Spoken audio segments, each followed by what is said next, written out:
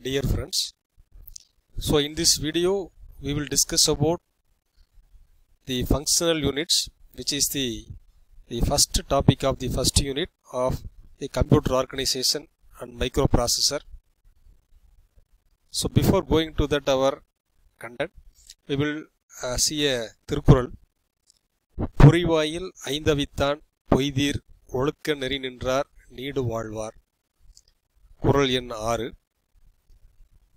Uh, the reputation of those who follow the true moral code of the pure, who controls the sense of mouth, eyes, nose, and ears, body, will be sustained. That mean, யாரொருவர் தனது உடம்பினுடைய ஐந்து பொறிகளையும் அடை அஹ், அதனால் ஏற்படக்கூடிய தீய எண்ணங்களை அடக்கி வாழ்கிறாரோ அவர்கள் கடவுளின் ஒழுக்க நெறியை பின்பற்றி நீடு வாழ்வார் என்பது இந்த திருக்குறளின் அர்த்தமாகும் so with this quote we will start our session so the course outcome of the first unit one is explain computer system and apply the various addressing schemes the learning outcome one is have insight on functional units of computer. The specific outcome is to understand about the functionality of different parts of basic computer. So different parts mean there are five functional units uh, parts.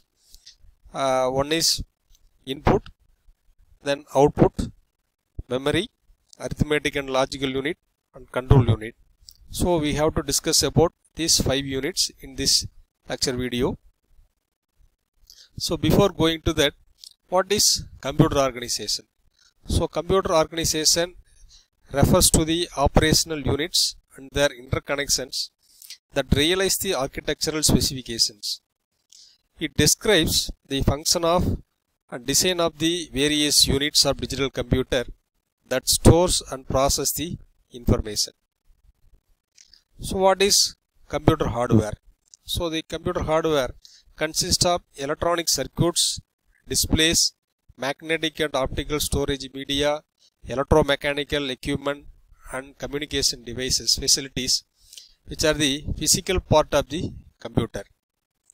Then what is computer architecture? It is concerned with the structure and behavior of the computer. It includes the information formats, the instruction set and techniques for addressing memory. So as set, so in computer there are five main parts input unit, memory unit, arithmetic and logical unit, output unit and control units.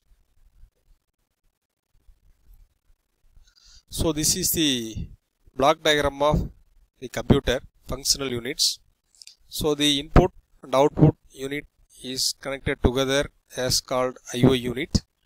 Then the processor is nothing but the uh, ALU and control unit then memory. So here we can see through an example.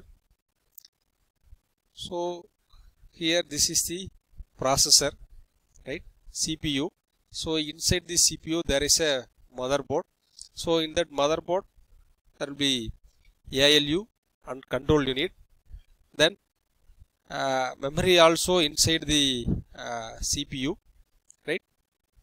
Then this is the output unit monitor then speaker then yeah, printer also the output unit. Input units are the keyboard and mouse sorry. So there is a one device called fax. So this fax unit can be used as input device as well as the output device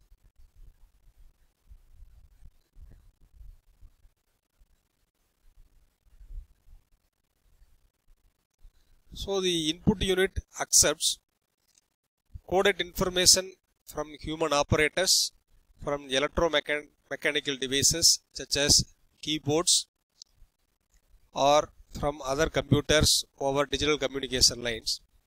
The information received is either stored in the computer's memory for later reference or immediately used by the arithmetic and logic circuitry to perform the desired operations. The processing steps are determined by a program stored in the memory. Finally, the results are sent to back to the outside world through the output unit. So all the actions are controlled by the are governed by the control unit. The list of instructions that performs the task is called a program. Usually the program is stored in the memory? The processor then fetches the instruction that make up the program from the memory. Uh, one after another and perform the desired operations. So the input device, the input unit. So the computers accept the coded information through input units which read the data. The best example for the input uh, device is the keyboard. So whenever a key is pressed, the corresponding letter or digit is automatically translated into its corresponding binary code and transmitted over a cable to either the memory or the processor. So these are the some uh, basic uh, input devices, joystick, trackballs, mouse, microphones. So the microphone captures the audio input and it is sampled. It is converted into digital codes for storage and processing. Then the memory unit. So the memory unit stores the program and data. There are basically uh, two types of storage classes, primary and secondary. So the primary memory is the fast memory that operates at electronic speeds. Program must be stored in the program memory memory while they are being executed. The memory contains large number of semiconductor storage cells. Each cell carries one bit of information that is called bit. The cells are processed in group of uh, fixed size called words.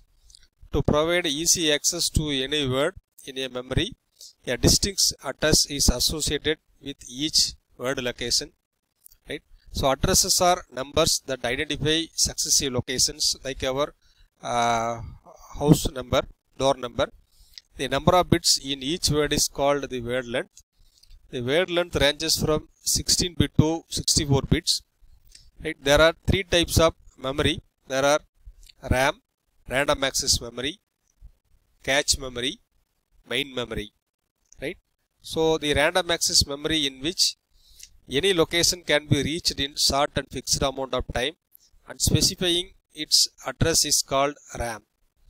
So the time required to access one word is called memory access time. Then second one is the cache memory. So this is the very small fast RAM units are called cache.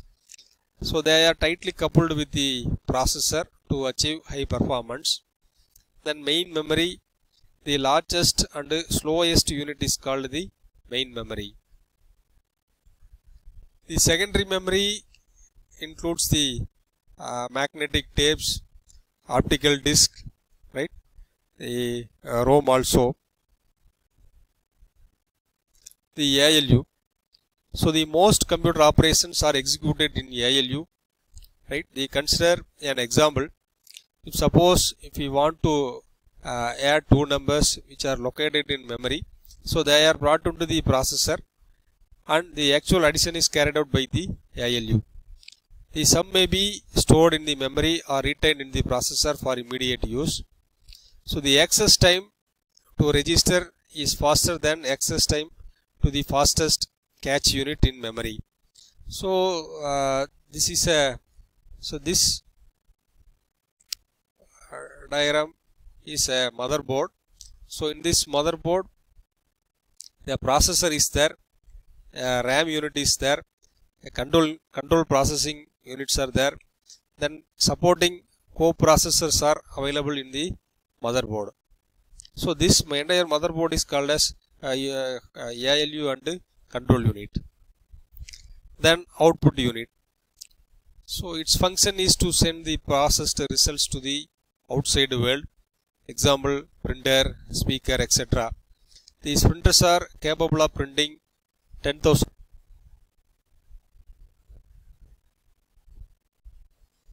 then control unit the operations of input unit output unit ALU are coordinated by the control unit. The control unit is the our nerve system that sends control signal to the other, other units and senses their states. The data transfers between the processor and the memory are also controlled by the control unit through timing signals. The operations of computers are the computer accepts information in the form of programs and data through an input unit and stores it in a memory. The information stored in the memory is fetched under program control into an arithmetic and logical unit where it is processed. The processed information leaves the computer through an output unit. So all these activities inside the machine are directed by the control unit. So these are the few uh, functional units of computer. Please list out. So what are the input devices are there, output devices, then ALU control unit, right? Then memory types of memory. So this is one of the activity for you. So the summary of this video. So in this video we have discussed about the five functional units input, output, memory, ALU and control unit. Then operations of computers. So this is the very fundamental topic. So if you have any doubt, please contact me right through my WhatsApp number and email ID. Thank you friends.